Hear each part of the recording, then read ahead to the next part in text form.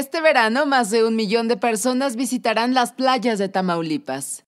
Las playas Miramar, La Pesca, Barra del Tordo, Costa Azul y Carboneras cuentan con la infraestructura necesaria para recibir a los visitantes locales, nacionales y extranjeros.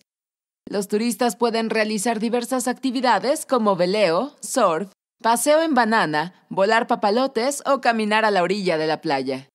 Durante este periodo vacacional, el gobierno de Tamaulipas trabaja con la Secretaría de Salud y la Coordinación General de Protección Civil, con el objetivo de brindar seguridad y confianza a las familias visitantes. Con información e imágenes de Blanca Sumaya, corresponsal en Tamaulipas. Notimex.